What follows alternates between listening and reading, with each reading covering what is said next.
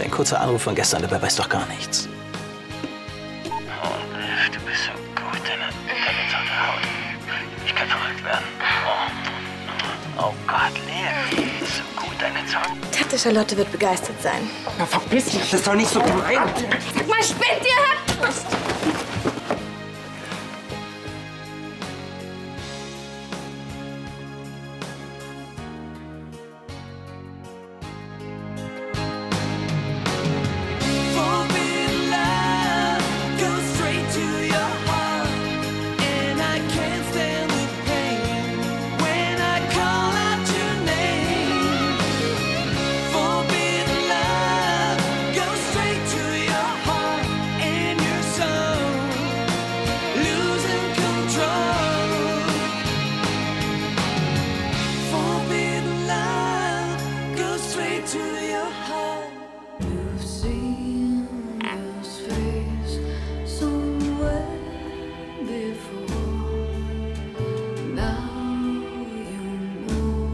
Glaubst gar nicht, wie lange ich darauf gewartet habe.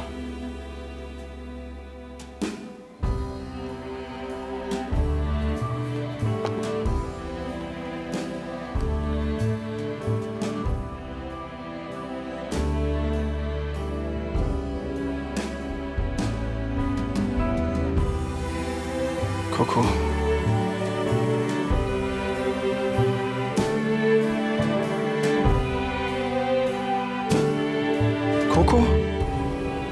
Coco, sag doch was.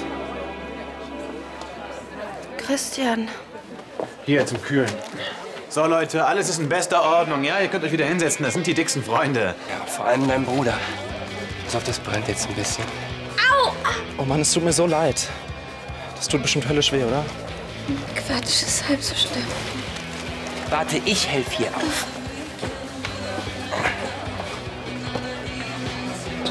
Setz dich erstmal. Deine Show ist für heute beendet, also halt einfach den Rand. Arno will uns verkuppeln? Ist doch völlig absurd. Vier Gänge, guter Wein und eine romantische Tischdekoration.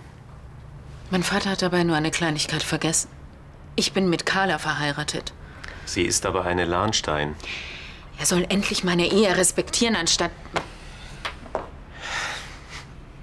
Ich finde es nicht witzig. Ja, irgendwie doch. Bitte? Wie der Herr, so's G'scher. Ich sage dir nur zwei Konzertkarten für Anne und mich, die du zufällig nicht brauchst. Das war doch was völlig anderes. Ihr beide seid Singles. Trotzdem organisiere ich mein Liebesleben doch lieber selbst. Besonders geschmackvoll ist das nicht von Arno.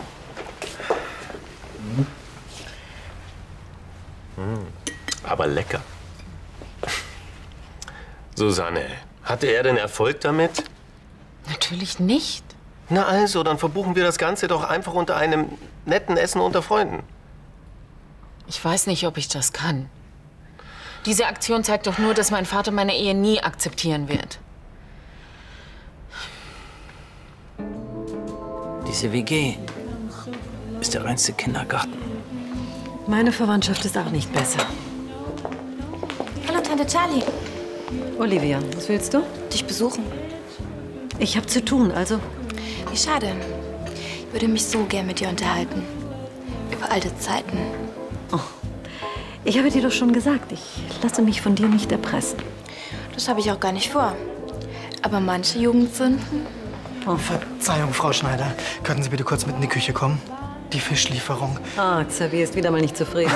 Der tobt. ja, ich komme. Also ich denke, wir beide haben uns verstanden. Die ist ja richtig lustig.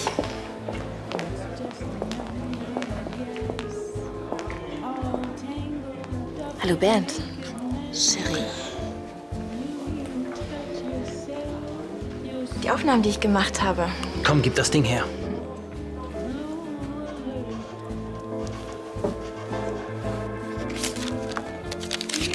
Komm, pack's weg. Jetzt noch ein bisschen auffälliger, oder was? So wenig? Warst auch schon mal spendabler. Mehr habe ich aber nicht. Und jetzt sieh zu, dass du Land gewinnst.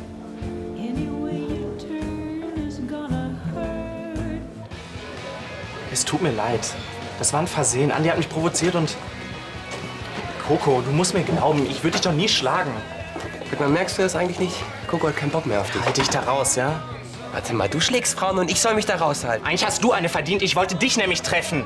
Was kann ich denn dafür, wenn du keinen Spaß verstehst, Junge? Bei deinen Hört Witzen. endlich auf! Ich kann's nicht mehr hören! Ihr habt für heute genug Mist gebaut! Alle beide!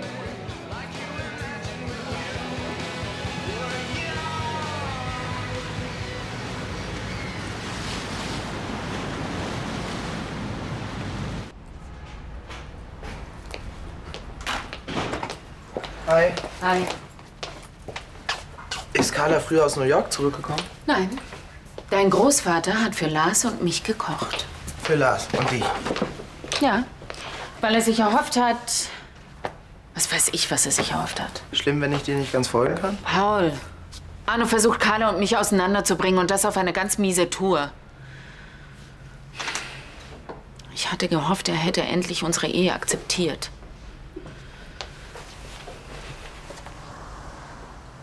Als er mich zum Altar geführt hat.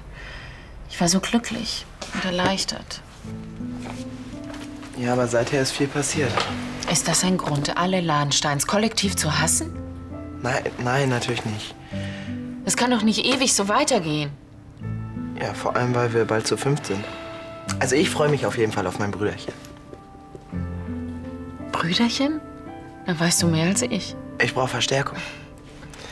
Hey, das wird toll mit meinem Bruder. Wenn Arno sich das entgehen lässt, weil er stur ist, dann ist er selbst schuld.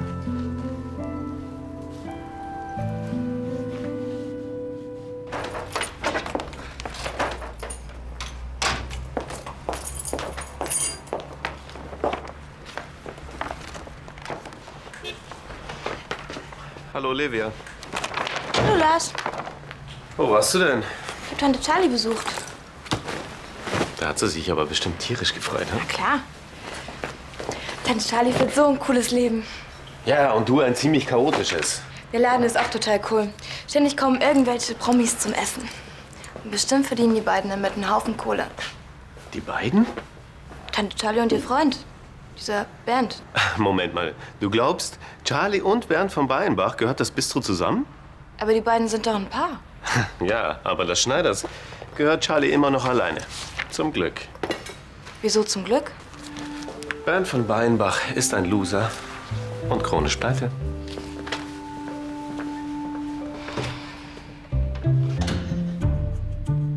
Habe ich es wirklich nötig, mich von dieser kleinen Kröte erpressen zu lassen?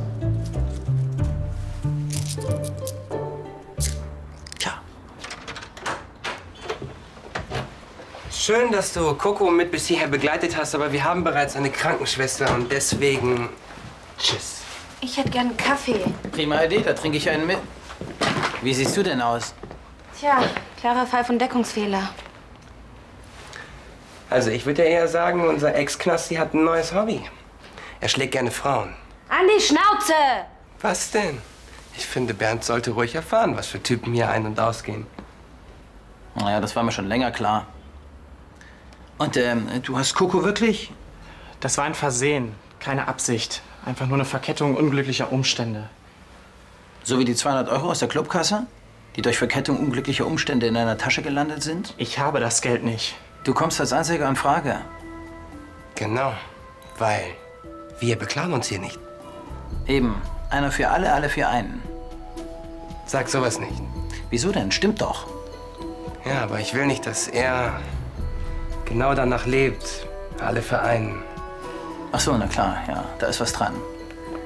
Wir sind hier nämlich kein Fonds für Resozialisierungsmaßnahmen von ehemaligen Strafgefangenen. Und erst recht nicht für Typen, die wehrlose Frauen schlagen. Wolltest du mir nicht einen Kaffee machen?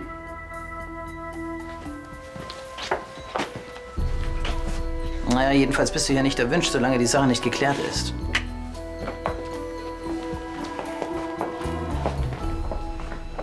Lässt sich ja vielleicht bald ändern. Das mit dem Knubbel gestern, das tut mir leid. Nee, du hast ja völlig recht. Also viel mehr sieht man wirklich noch nicht. Aber wenn du das nach der Geburt auch noch sagst, ne? dann kriegst du Ärger. Ich werde mich hüten. Na? Wie war's? Hat das Essen geschmeckt? Nicht so, wie du es dir erhofft hast. Was soll ich mir denn erhofft haben? Tja, das frage ich mich auch. Tschüss, Paul. Hallo, ich Hallo, wollte gerne. dringend. Guten Tag, Herr Brandner. Können wir gleich los? Ich komme nach, okay? Warum? Frag nicht. Okay.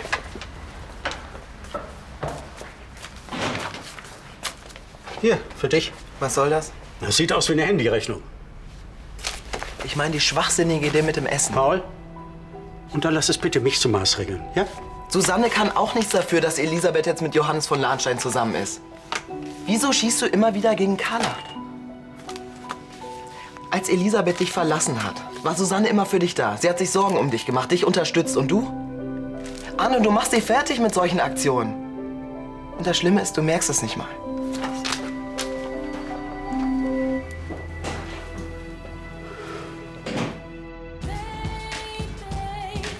Warum interessierst du dich plötzlich für Bernd von Weinbach? Ich finde ihn halt nett. Hey, pass doch auf. Weißt du, was ich nett finde? Wenn deine nächste Freundin auch mal sowas Edles tragen würde? Hab schon überall gesucht. Wenn du einfach mal ein bisschen mehr Ordnung schaffen würdest. Stürz euch. Nein, überhaupt nicht. Wenn du willst, können wir auch tauschen. Ich nehme dein Zimmer und du schläfst hier. Ich meine es ernst, Olivia. Ich auch. Und du räumst heute die Wohnung auf. Tipptopp, inklusive Bad. Und dann suchst du dir einen Job und eine Wohnung. Haben wir uns verstanden?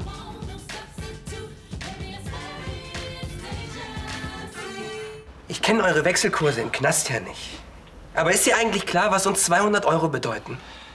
Sag mal, ist dieser Typ eigentlich zwanghaft paranoid? Ist doch krank, dass er immer wieder mit dem Thema anfängt. Weil wir unser Geld wieder haben wollen, Junge. Ich hab's aber nicht zum hundertsten Mal. Sag mal, wollt ihr euch vielleicht noch mal prügeln? So kommen wir wirklich nicht weiter. Ja, wenn Christian das Geld einfach Wie mal wär's, wieder wenn wir mal überlegen würden, wer wirklich die Kohle geklaut hat? Willst du mir etwa damit unterstellen, dass ich mir das... Nein! Aber denk doch mal zwei Sekunden nach.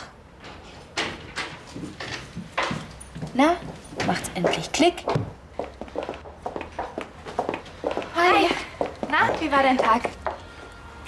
Wie man's nimmt. Was hast du denn gemacht? Halb so schlimm. Hauptsache mein Kopf funktioniert noch. Halb so schlimm? Das ist ein Hämatom wie aus dem Lehrbuch. Wie ist denn das passiert? Tja, brauchst dich gar nicht zu verstecken. Sagen wir es mal so, ich bin zwischen die Fronten gekommen. Du hast dich mit Andi geprügelt? Wundert dich das? So ein Ex-Knacki hat doch seine ganz eigenen jetzt Regeln. hör endlich auf mit dem Scheiß. Meine Rede. Und was die 200 Euro angeht, ich habe schon eine Idee, wie wir herausfinden können, wer die Kohle wirklich gezockt hat. Aber dazu müssen sich die beiden mal für einen Moment wie zwei ganz normale Menschen aufhören.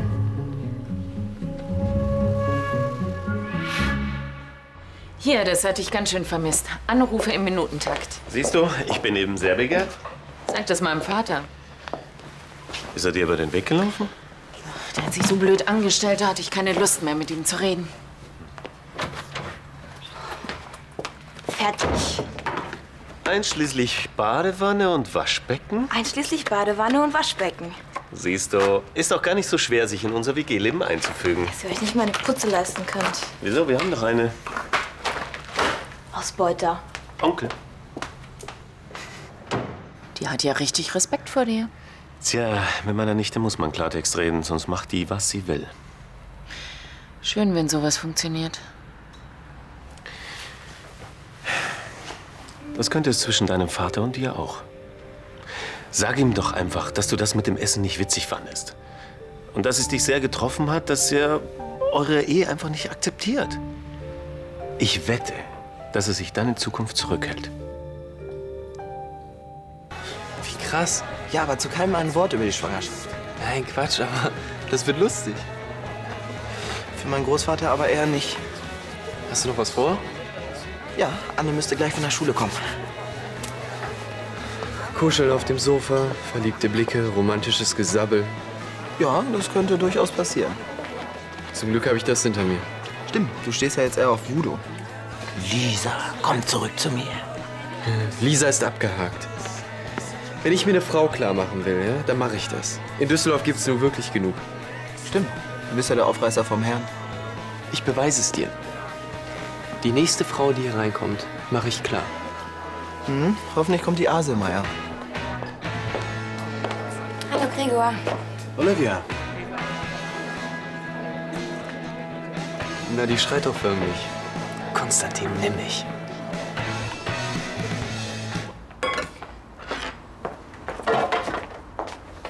Wo willst du denn hin?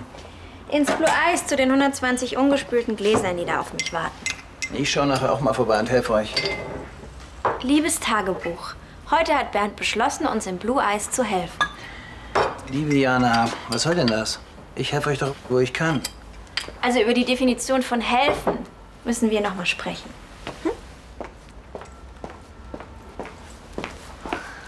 Ja, dann tschüss, ihr beiden. Und äh, schließt die Kasse vor diesem Typen weg. Besser ist das. Andi, jetzt hör endlich auf mit dem schwachsinnigen Unterstellungen. Ihr kennt doch meine Meinung. Ja, die ist auch völlig richtig. Äh, hilfst du mir, die Platten runterzubringen? Ja, sicher. Und äh, Coco, warte doch mal bitte kurz. Ich wollte mit dir über die Haushaltskasse sprechen. Über die Haushaltskasse. Ja, genau. Jana, Nico und ich, wir haben bereits für die nächsten Wochen da eingezahlt und mittlerweile dürften da 500 Euro drin sein. Cool, dann können wir bald wieder richtig fett einkaufen. Ja, aber ich will nicht, dass dieser Christian wieder das Geld klaut. Das könnte natürlich passieren. Mein Gott, wenn du es ihm wirklich zutraust, dann versteck es halt. Das ist überhaupt die Idee.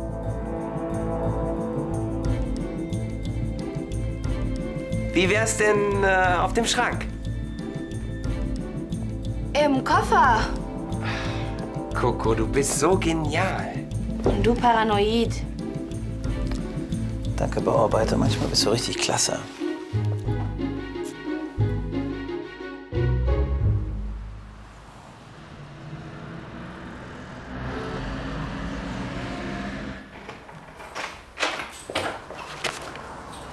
Susanne, Hallo.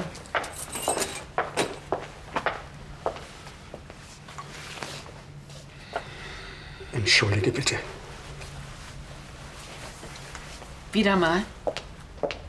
Ich weiß auch nicht, welcher Teufel mich geritten hat. Soll ich dir darauf jetzt antworten? Das hat dein Sohn Paul schon getan. Paul? Ach, dieser unverschämte Bengel. Aber leider hat er recht. Du hast die letzten Wochen so viel für mich getan und ich. Ich sehe einfach nicht mehr, was ich durch mein Verhalten anrichte. Also, ich verspreche dir hoch und heilig, ich werde mich in deine Beziehung nicht mehr einmischen. Und wie lange hält der Vorsatz diesmal? Ich möchte doch, dass du glücklich bist. Mit Carla. Und jetzt bekommt ihr auch das Kind.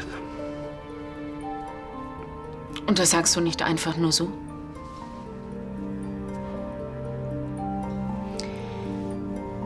Das muss erst mal ankommen. Susanne, Ja, darf ich dir noch etwas sagen? ja klar. Lars Schneider ist wirklich ein netter Kerl. Ich finde nach wie vor, dass ihr großartig zusammenpassen würdet.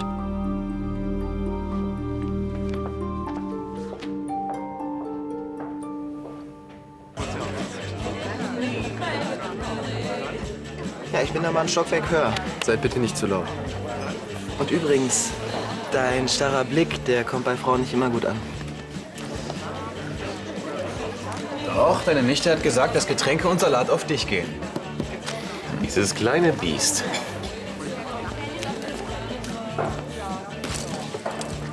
Olivia, was soll denn das schon wieder? Was denn? Ich suche mir einen Job. Warum soll ich deine Rechnung bezahlen? Ich habe geputzt. Du bist Anwalt. Sei doch nicht so geizig. Hast du was gefunden? Die sind total verrückt. Nur 15 Euro die Stunde. Was erwartest du? 25, mindestens. Schließlich bringe ich auch eine Menge mit. Was? Eine abgebrochene Hotelfachlehre und eine Riesenklappe. An was hat Madame denn so gedacht? Irgendwas mit Menschen. Was Cooles in der Mode oder so. Ich muss los, ich habe noch einen wichtigen Termin.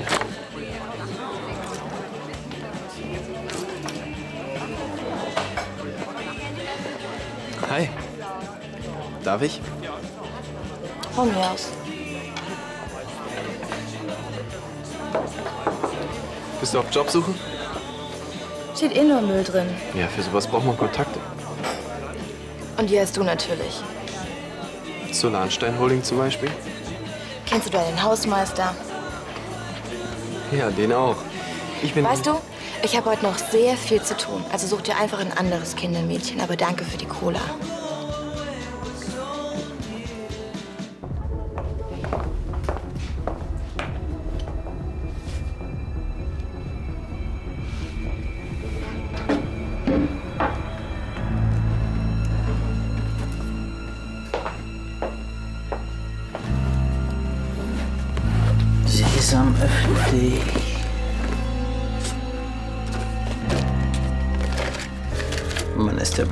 Bescheuert.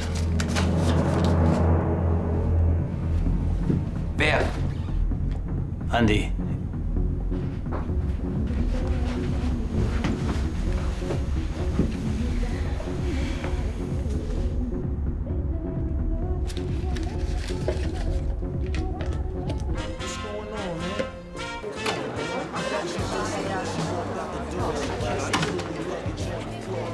Hi Gregor, machst du mir ein Bier? Klar. Na, Brüderchen? Na? Alles klar? Mhm. Wie wär's mit ein bisschen Poker-Nachhilfe? Super, ich habe Karten mit. Okay, dann als erstes Theorie. Sag mal, der Typ da drin, ist das nicht... Der Graf. Ansgar von Landstein, ja. Bekannt aus Funk und Fernsehen. Ist der Stammgast hier? Ja. Genauso wie sein Bruder. Sein Bruder? Konstantin. Der Lockenkopf. Das ist Konstantin von Lahnstein? Ja. Man sagt, er ist einer der begehrtesten und reichsten Junggesellen Düsseldorfs.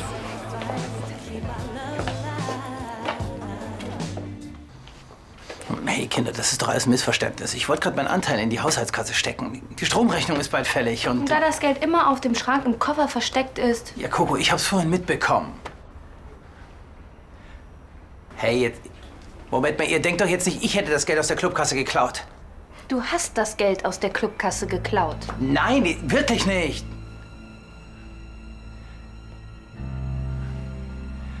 Naja, mein Gott, also gut, ich habe das Geld genommen. Ja, aber nur wenn mir ein blöder Fehler passiert ist, ich werde erpresst. So, jetzt wisst ihr es. Tolle Story. Und alle haben mich verdächtigt. Ich habe mich mit Andi geprügelt und Coco hat jetzt ein blaues Auge. Ja, ja, ich weiß, es tut mir leid. Du bist so ein mieses Schwein. Es reicht jetzt. Wir rufen die Polizei. Andi, übernimmst du das? Hey, das könnt ihr doch nicht machen. Ich gebe euch das Geld zurück, sobald ich flüssig bin. Ich verspreche es. Warte, ich habe eine bessere Idee. Christian soll entscheiden, was passiert. Bitte? Dich hat Bernd verdächtigt und du hattest den meisten Stress. Also sollst du auch entscheiden, ob wir die Polizei rufen.